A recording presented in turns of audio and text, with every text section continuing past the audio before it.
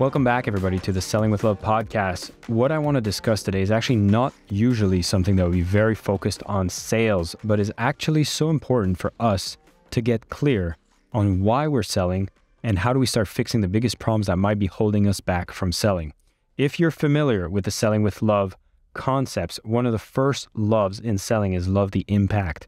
And it goes beyond just the statement of loving the impact because we do some exercises usually. We go deeper into, you know, what is our impact for ourselves? What's the impact for the clients we sell to? What's the impact for the greater community or world whenever it is that we sell? What's the difference that we're making? But if we really want to be motivated in the way that we sell and we really want to make sure that we are excited, we are selling effectively, and we're not holding ourselves back, is where I want to expand on this impact and introduce you to the concept of ikigai.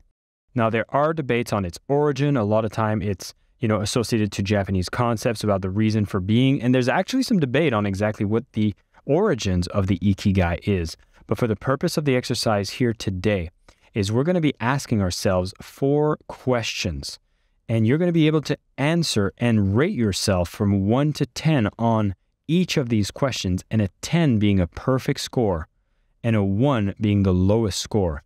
And the purpose here is that the closer you are to 40 in your score, the more you are really in your optimal state, in the right business, in the right career, in the right activity, and selling effectively in the process. And if you see that one of these categories is scoring a little lower, you might be able to pinpoint some of the things you might want to do to maybe improve your product, maybe change who you serve, maybe get into a different industry, or maybe learn about sales in the process.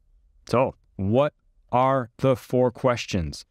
Well, the first question you have to ask yourself is what you love. Is whatever you're doing right now for your business what you love? Do you love the business that you're in? And if you're listening to this podcast, just take a moment to answer this for yourself 1 to 10. What you love. Are you excited every morning to get up and do what you're doing because it's a joy for you to do it? Do you find yourself not hesitating to just do these activities that are not just about the service that you provide, but building the business around the service that you provide or the product that you create?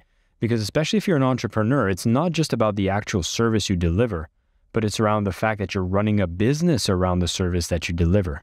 What is the rating you have for the love you have for this? All right. That is the first question. Take a moment, write down that question's answer.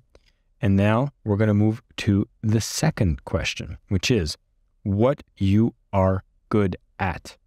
It's a different question than what you love. It's what are you good at? Is what you're doing something you're actually really good at doing? Because you could see some scenarios where you might be really good at something, but you might not love it.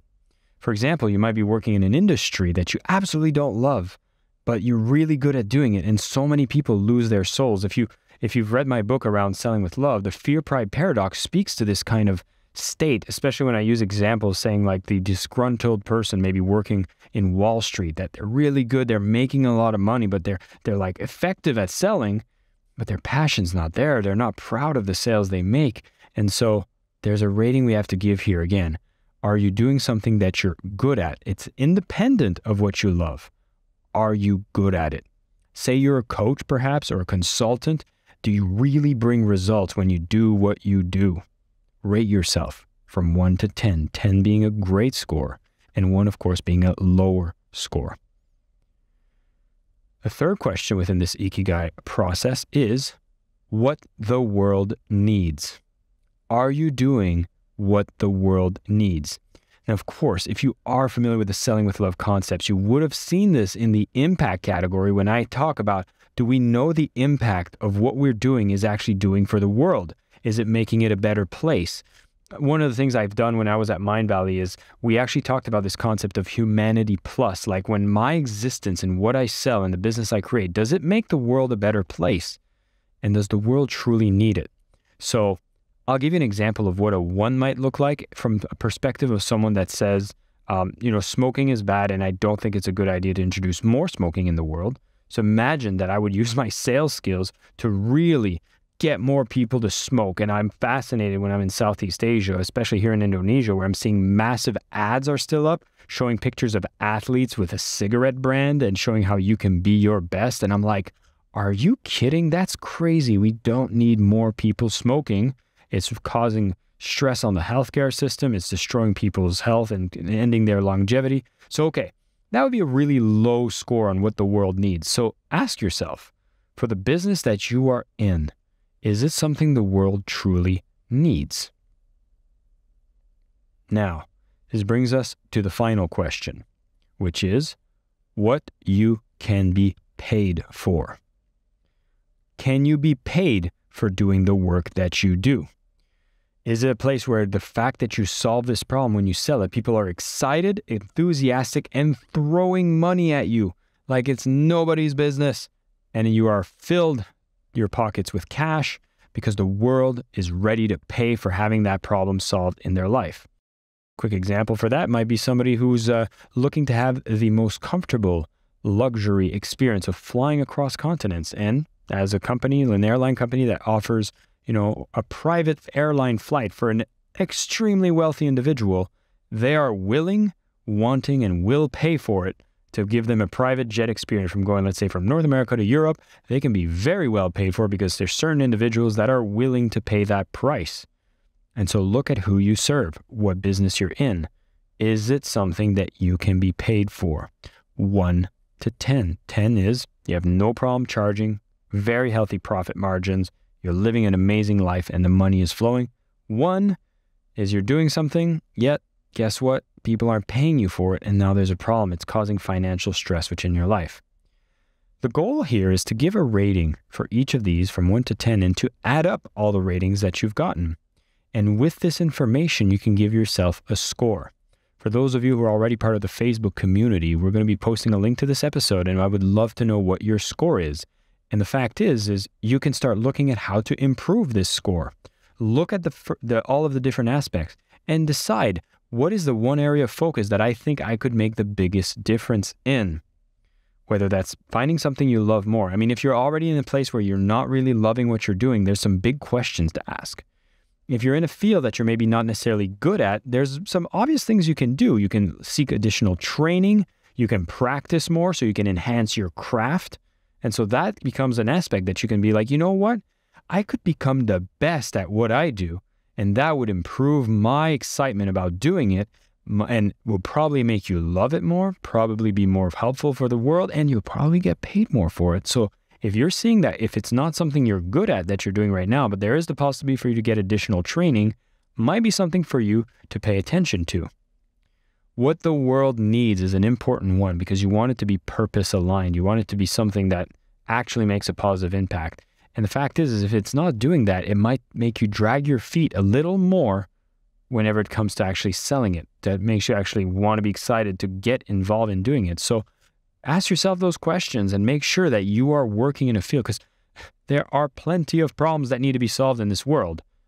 And that if you focus on making that part of your mission, then that is going to be an extra motivator and make you feel so much better about being in this business. And I have to admit, the last one is the one that most people who might be listening to this podcast, being involved with the Selling with Love methodology, might be struggling with. I'm taking a wild guess here, but what you can be paid for is something that we really need to investigate. And a lot of what I teach when it comes to selling with love is to make sure that for the people who are doing something they love, they are good at it, and it is something the world needs, can be paid for it. And one of the greatest ways to be able to improve that is that's right, I'm biased on this answer, but you gotta learn to sell. You gotta learn to craft an amazing offer. You gotta get over your resistance and your fears that what you're pitching is gonna be causing you insecurities. We have to overcome that. And luckily, you are listening to the right show where we're going to give you some of those answers. We're going to support you on your journey, and you're not alone on that journey. And if you are having that struggle of being paid what you are worth when it comes to what you sell, then be sure to be a part of the community. Get involved, share. We are here to support you. This is why we put the podcast together, and we want to make sure that you can score as high as possible in your Ikigai. And if there's any ways that we can support you, we have both free and paid resources that can make sure that wherever you are on your journey, you are well supported and you can make sure you are well paid so that if you're truly doing something the world needs and you are loving it and you're good at it, let's make sure that you have a complete circle within your ikigai. If you like this concept, you want to see it what it looks like when you have maybe one of the legs of the stool that's not as strong, we're going to post up an image within the community so you can actually go post your score. You can see what it looks like as a concept. It's a beautiful one. I wanted to highlight it and share it with everyone here. And of course, if you enjoy this show and you enjoy listening to this podcast and you haven't left a review yet, take a moment to leave a quick review. Highly appreciate all the feedback that we receive. And of course, with this concept, find your purpose, get your reason of being clarifying, apply the Ikigai concept, and of course, go out there and sell with love.